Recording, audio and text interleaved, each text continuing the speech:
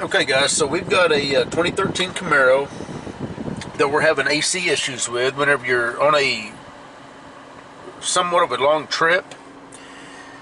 The AC will get so cold that the uh, uh, air coming out starts being restricted.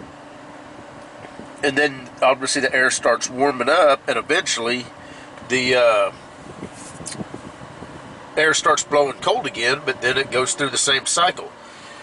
I'm pretty sure the evaporator's freezing up, so we're going to take a look at some data here, and we're going to see what uh, what we can have going on. So I've got the uh, this is the launch X431.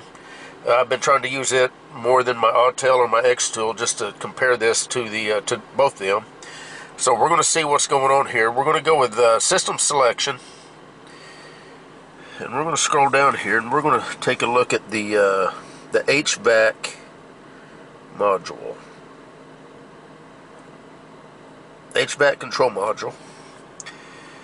Uh, data stream is what we want. And this gives you different types of data that you can pull up. Uh, what I want to see is the evaporator temperature for sure but I also want to see the compressor signal. Uh, is the compressor engaged, not engaged? You know, that sort of thing. So we're going to go with this one, which is permission data. And uh, we're just going to, we'll go ahead and select all these. And let's see what we got here.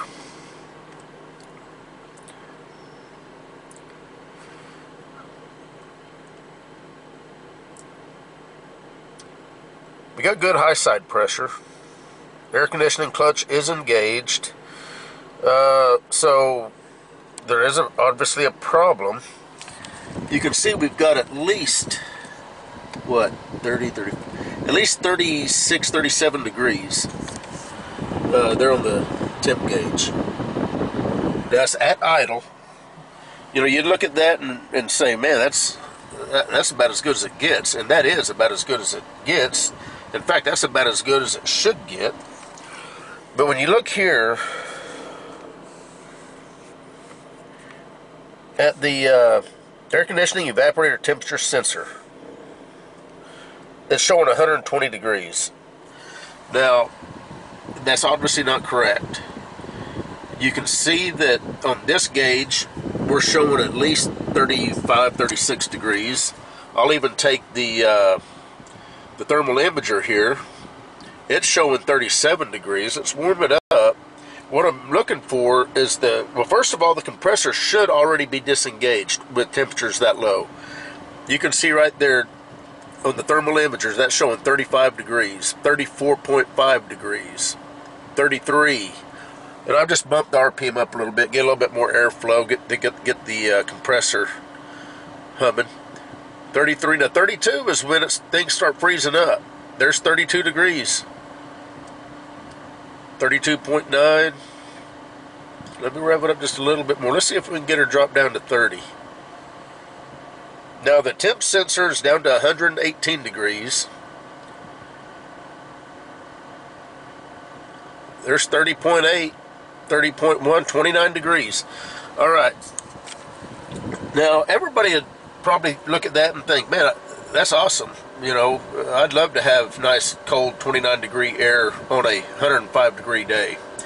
The problem is the evaporator's freezing up right now. So eventually, that cold air is going to stop. You can see the temperature of the evaporator is, according to the scan tool, is 114.8 uh, degrees. Hopefully that's coming through hard for me to tell on the uh, screen. So we clearly have a problem here.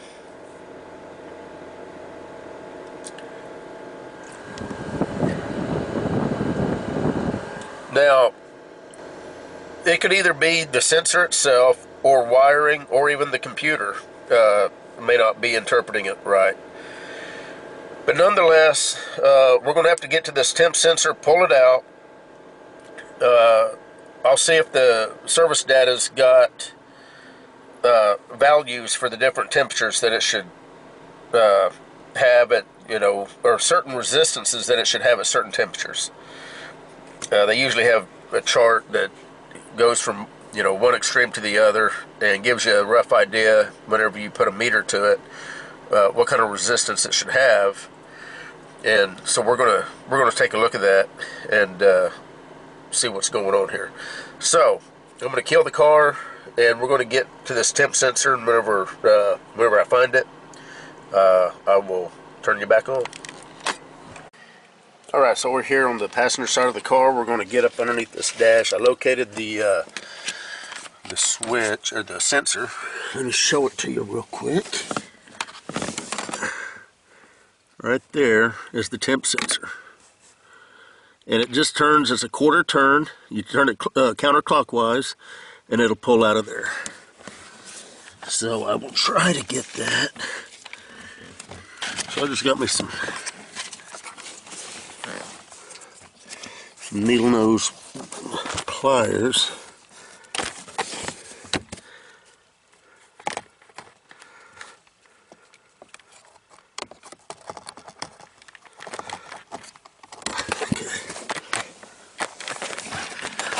Quarter turn. There she is. And that thing is ice cold.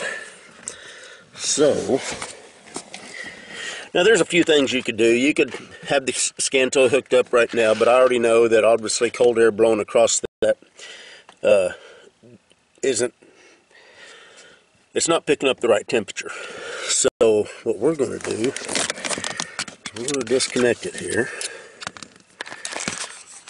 Camera set up.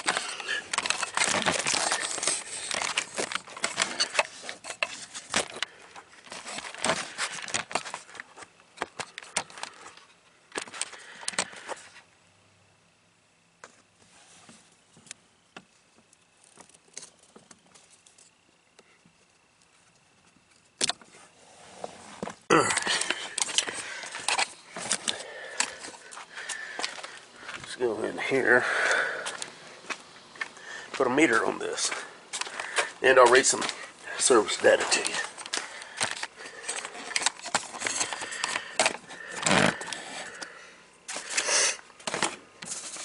So first let me read what the what the book says.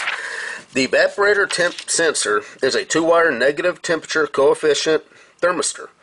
The sensor operates within a temperature range of minus 40 to 108, minus 40 to 185 degrees Fahrenheit.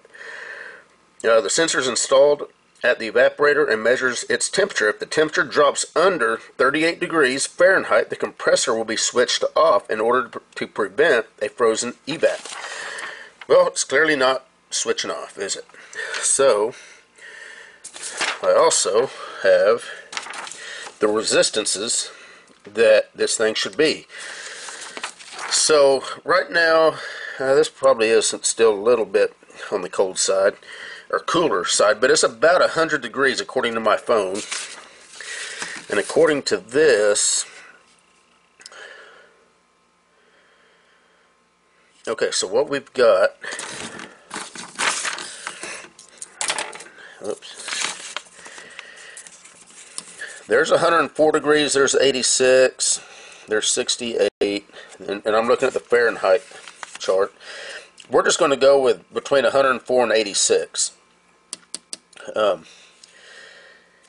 now you got to pay attention to up here because that's saying it's kilo ohms, which means that whenever this shows 2.66, that's actually actually 2066. Two, that's actually 2,666 ohms. Uh, and 86, 4.02, that's 4,000 uh, 20 ohms. So from 104 to 86 degrees, I'm going to assume we should be between 2.6 and 4 kilo ohms. Only because I know that the temperature, since this was cold, it may still be kind of warming up a little bit. But it's been an ambient temperature long enough where it, it I would think that it would be pretty close to whatever ambient is. Okay, so here we go. Can you see that meter?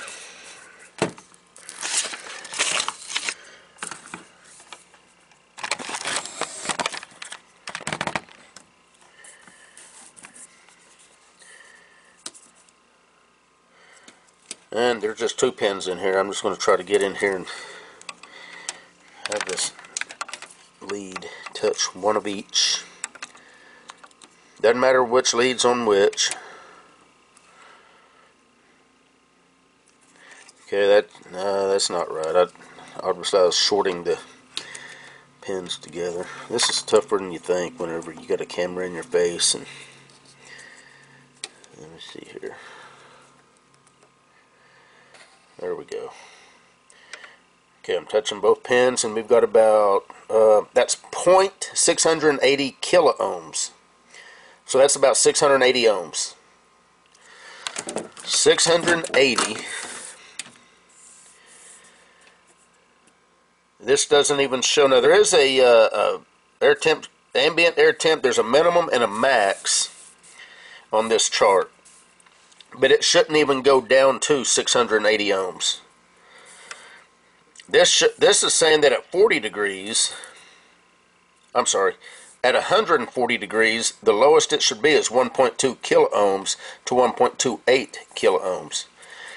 This is showing 600 what was it, 680 ohms. So, temp sensor's bad. Um, I'm going to go get another one. We'll measure its resistance before, uh, before I install it, and then we'll put it in and see what happens. So, to the parts house I go. Alright guys, I'm back. Here's the new uh, sensor. Let's get our chart, turn the meter on, Let's see what this says here. What's the easiest way to do this? I don't think there is an easy way.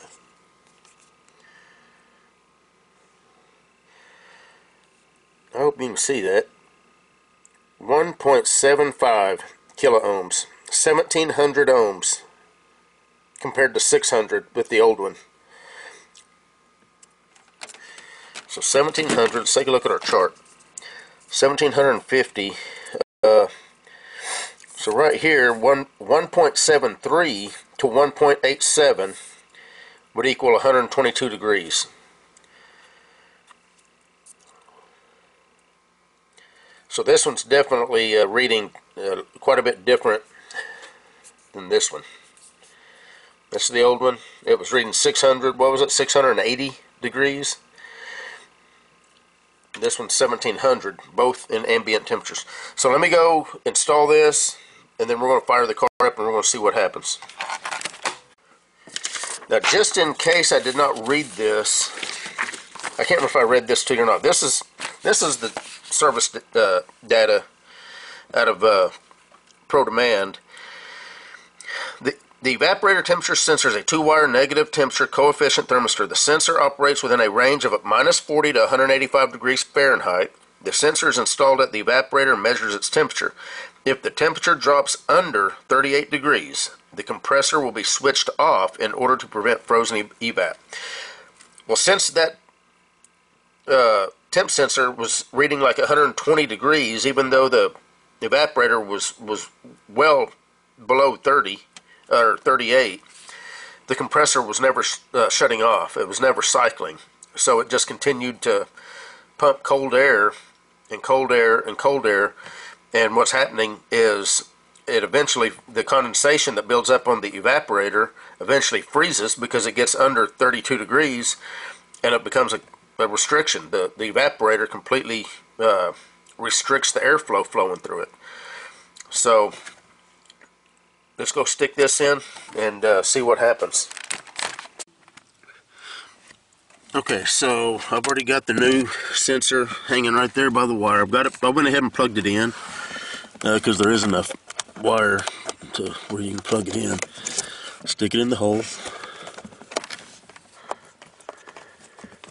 Once you get the lugs engaged, you just turn it quarter turn, and it's locked in just so you, just to give you a better idea of where it's at. So there's the glove box. It is literally just right there.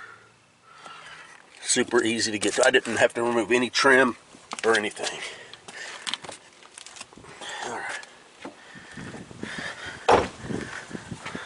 Let me get it started up and see how it's going to do. Okay, so we're coming down. We're at 48 degrees. It's roughly where we're at there. And what I'm watching for is this uh, request signal should go to no. The compressor clutch status should go to disengaged whenever the temperature gets roughly to about 38 degrees. Uh, or it'll probably get a little bit lower, 37 degrees before it actually disengages. If this one is calibrated perfectly. So let me, I'm going to go ahead and rev the, the car up a little bit just to get there quicker. We're at 42.8 and we're just sitting here idling. It's about 100 degrees outside. So, see what happens here. We're at 41. High side pressure looks good. Um, okay, there we go. 39 degrees, disengaged. We got a no right here. We got a disengaged up there whenever it warms up. The compressor should come back on it, I just heard it engage and it says yes. So there you have it. 39 we'll watch it do it one more time. I just heard it disengage. It's disengaged went no.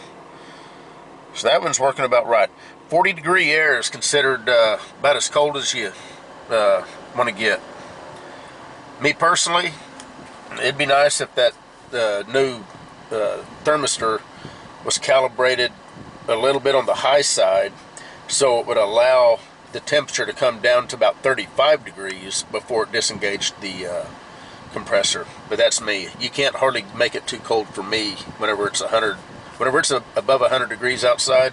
As far as I'm concerned, the colder the better inside a car. But anyway, there it is. Uh, the fix for this was a new evaporator temp sensor. Uh, that's about all I got. You guys take care.